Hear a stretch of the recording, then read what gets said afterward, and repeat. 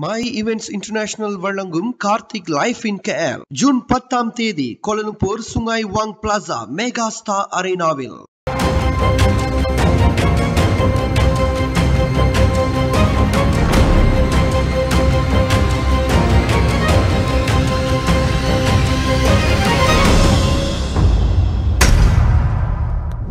நம்பகமான செய்திகளுக்கு நம்பிக்கை வணக்கம். முதலில் முதன்மை செய்திகள். நகைச்சுவை நடிகையின் செயலுக்கு மன்னிப்பு கோரியது சிங்கப்பூர். என் மகன் அழுகிறான் நீங்கள் கேலி செய்கிறீர்கள் இன்தான் மைசூரா கண்டனம். சனுசியிடம் போலீசார் வாக்குமூலம் பதிவு செய்தனர்.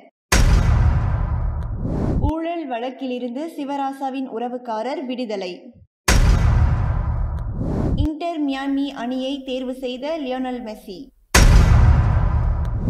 மலேசியாவை இழிவுபடுத்திய சிங்கப்பூர் நகைச்சுவை நடிகையின் செயலுக்கு சிங்கப்பூர் அரசாங்கம் வருத்தம் தெரிவிக்கிறது. அதே வேளையில் ஒட்டுமொத்த மலேசியர்களிடமும் சிங்கப்பூர் அரசு மன்னிப்பு கோருகிறது என்று மலேசியாவுக்கான சிங்கப்பூர் தூதர் வேணுகோபால் மேனன் கூறினார். சிங்கப்பூரை சேர்ந்த நகைச்சுவை நடிகை ஜாஸ்லின் சியா மலேசியாவை மிகவும் கேவலமாக பேசியுள்ளார்.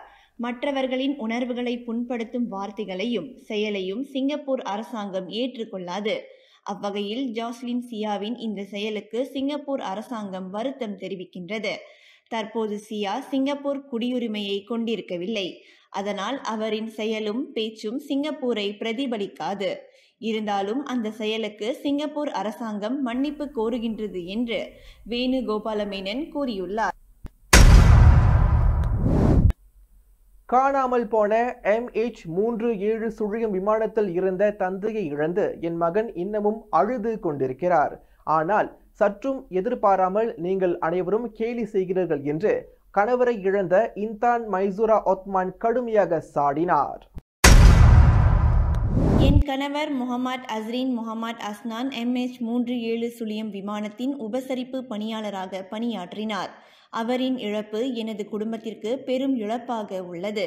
அப்பாவை பார்க்க முடியாமல் என் மகன் அழுது வருகின்றான். என் மகன் போன்று பல தாய்கள் பிள்ளைகளை இழந்து தவித்து வருகின்றனர். ஆனால் பாதிக்கப்பட்டவர்களின் குடும்பத்தை சற்றும் சிந்திக்காமல் சிங்கப்பூரை சேர்ந்த நகைச்சுவை நடிகை ஜாஸ்லின் சியா இந்த சம்பவம் குறித்து கேவலமாக பேசியுள்ளார். அவரின் இந்த செயல் மிகவும் வேதனையாக உள்ளது. மற்றவர்களின் மனவழியோடு விளையாடுவதை அவர் நிறுத்திக் கொள்ள வேண்டும் என்று இன்தான் மைசூரா தமது டிக்டாக் வாயிலாக கண்டனத்தை வெளிப்படுத்தியுள்ளார். தனுசியிடம் போலீசார் நேற்றிரவு வாக்குமூலம் பதிவு செய்தனர். விசாரணை அறிக்கை முழுமை பெற்ற பின் அது சட்டத்துறை தலைவர் அலுவலகத்திடம் ஒப்படைக்கப்படும் என்று தேசிய போலீஸ் படையின் தலைமை செயலாளர் நூர்ஜியா சாடுடின் கூறினார். பினாங்கு மாநிலம் இன்னமும் கிடாவுக்கு தான் சொந்தம். இதனால் பினாங்கை தனி மாநிலமாக அறிவிக்கக்கூடாது என கூறி கிடா மாநில மந்திரி பசார் டத்துஸ்ரீ அமாட் சனுசி பெரும் சர்ச்சையை ஏற்படுத்தினார். இந்த விவகாரம் தொடர்பில் சனுசியிடம் சம்பந்தப்பட்ட தரப்பினர் விசாரணைகளை மேற்கொள்வார்கள் என பிரதமர் நாடாளுமன்றத்தில் தெரிவித்திருந்தார்.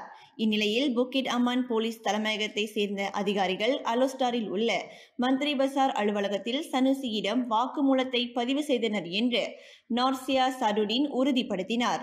இதனிடையே விசாரணைக்கு பின் செய்தியாளர்களிடம் சனுசி போலீசார் தன்னிடம் ஐந்து கேள்விகளை கேட்டதாகவும் அதற்கு தாம் பதில் வழங்கிவிட்டதாகவும் தெரிவித்துள்ளார். அந்நிய நாட்டவரிடமிருந்து அறுபத்தைந்தாயிரம் ரிங்கிட் லஞ்சம் பெற்றதாக கூறப்பட்ட மூன்று குற்றச்சாட்டுகளில் சுங்காய்புலோ முன்னாள் நாடாளுமன்ற உறுப்பினரான சிவராசாவின் உறவுக்காரரும் முன்னாள் ஊழியரான நவீன் குலரசா ராசையா நிகோகம் செஷன்ஸ் நீதிமன்றத்தால் விடுவிக்கப்பட்டனர். நவீன் குலராச ராசையா நிக்கோ கேம் ஆகிய இருவரும் வெளிநாட்டு ஊழியர்களின் நுழைவுக்கான கல்வி தகுதிகளை தவறாக பயன்படுத்திய குற்றத்தை மறைப்பதற்கு அந்நிய நாட்டவரிடமிருந்து லஞ்சம் பெற்றதாக குற்றம் சாட்டப்பட்டுள்ளது. இருவரின் தரப்பில் வழக்கறிஞர் எம். புரவேலன் ஆஜராகினார். அவர்களின் விண்ணப்பத்தை ஏற்று நீதிபதி அசுரா அல்வி இந்த தீர்மானத்தை மேற்கொண்டார். முன்னதாக அரசு பதிவாளர் நோர்ஹாலி ஸ்மார்ட் அசுராவிடம் குற்றம் சாட்டப்பட்ட இருவர் சார்பாக முன்வைக்கப்பட்ட பிரதிநிதித்துவங்களை பெற்ற பின்னர் குற்றச்சாட்டை வாபஸ் பெற ஒப்புக்கொண்டதாக தெரிவித்தார். பிஎஸ்ஜியிலிருந்து விலகும் லைனல் மெஸ்ஸி சவுதி கால்பந்து கலப்பில் இணைவார் என்று பரவலாக எதிர்பார்க்கப்பட்டது. ஆனால் தற்போது அவர் அமெரிக்காவின் இந்தர் மயமி கிளப்பை தேர்வு செய்துள்ளார் என்று தெரிவிக்கப்பட்டுள்ளது.